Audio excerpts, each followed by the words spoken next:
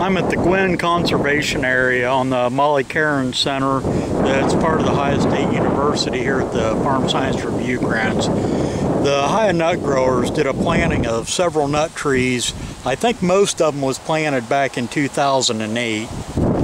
This is a Colby pecan that's growing.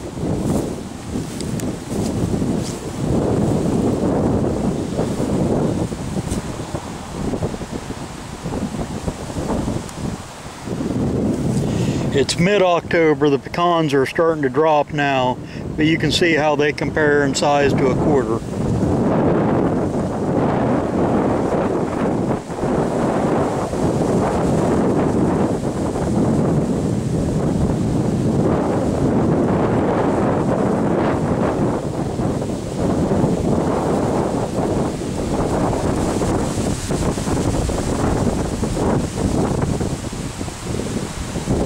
Some of these holes are awfully black, so I'd say it's not very resistant to scab.